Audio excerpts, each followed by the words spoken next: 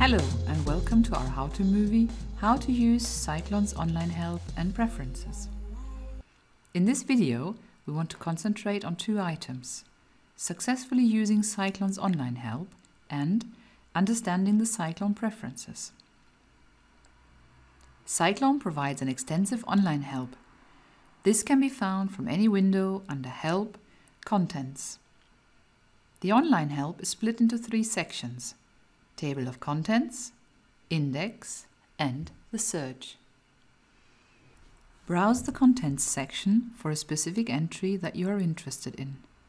If you know the exact term you need help with, there are two ways to search for it.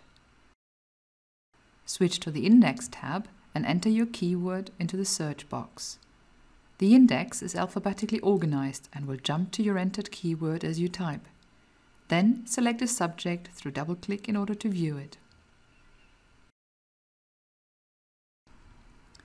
Alternatively, press Enter or Display after entering your search term.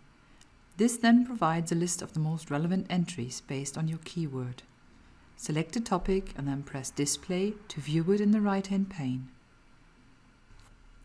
For a full text search, switch to the Search tab. This provides a wider search, but may also return less relevant content. Enter your keywords and select List Topics. Review the suggested topic list and highlight the relevant entry. Then press Display to see the full article. For any licensing questions, simply enter license as a search term. Most entries coming up here point to the licensing and installation guide. This linked document outlines all license-related questions in detail. Let's come back to Cyclone itself. If you're interested in learning more about a specific command, there is an even faster way to find this information. Simply point to the command and press F1 on your keyboard. This will then open up the user guide at this specific function without the need to browse the online help. Cyclone Preferences This dialog contains vital settings which influence how Cyclone performs, looks like, or calculates things. Hence it is important for every user to be aware of them. We will just review a few settings to get an overall idea of how this interface works.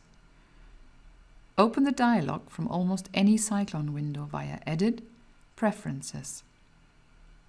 Note that there are two levels under which changes can be defined. The session level means any changes are discarded again after a restart of Cyclone. To make changes permanent, switch to the default level. Press Default to reset the selected preference tab to the default settings. All preferences are sorted into categories under individual tabs. The first category we will have a look at is the Units tab. This defines the various units used throughout Cyclone. The default setting is meters. The resolution settings allow you to adjust the number of digits with which any values are displayed in Cyclone. Measurement settings. These define the graphical display of any measurement made in Cyclone. You can, for example, change color or size. The Registration tab allows the user to alter default criteria for cloud and target alignment, as well as the global adjustment. Defined here are, amongst other, the maximum amount of iterations executed and when the algorithm should stop. The Fitting and Modeling tabs both define how objects are calculated and fitted based on the point clouds. There are entries for the fitting process itself, as well as various tolerances and starting values. Model Space tab. Here, the user can define the look and feel of any model space or TruSpace, like defining the viewer's background color or how many neighbor scan worlds you see in TruSpace. Scan settings. Here, the user can define whether or not to use survey mode.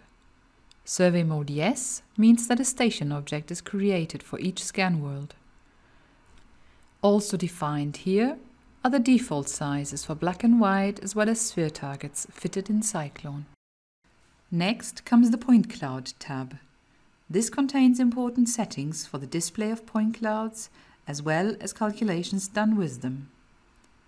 If you notice, for example, that not all points are being displayed in the model space, try increasing the values for load and display max points. This defines the maximum number of points which can be loaded and drawn in a single view at any one time. Note that the speed of point cloud loading and display is related to the computer's graphics card. This is also the limiting factor. Another setting here concerns the amount of points being used for any calculations in Cyclone. Change them here in the computation entries. Lastly, we come to the Initialization tab. This is similar to the Model Space tab in that it defines settings for the various viewers in Cyclone. But in this case, the settings concentrate on if and how point clouds inside are being displayed by default. Like here, where the default color can be switched from intensity map to colors from scanner. There are many more important settings in this dialog. If you are doubtful about the meaning of a particular entry, simply press F1 to find assistance in the online help. Once all changes are made, confirm with apply if required, and then close the window with OK.